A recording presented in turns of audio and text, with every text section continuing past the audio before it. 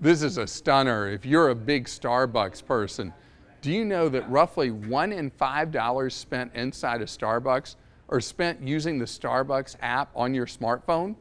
Well, there's a problem.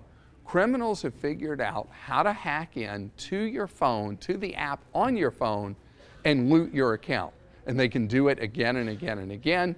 And in the worst cases, they use their gateway into your Starbucks app to then get into other accounts you have and have a field day at your expense. So, a couple of things you need to know. This is a problem that has been going on for months with Starbucks. I want you to turn off automatic reload on your Starbucks app.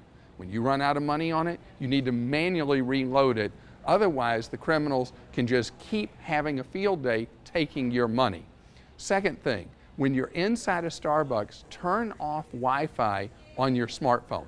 I have step by step for you how to protect yourself with your Starbucks app on my guide at clarkhoward.com. Check it out. I'm Clark Howard.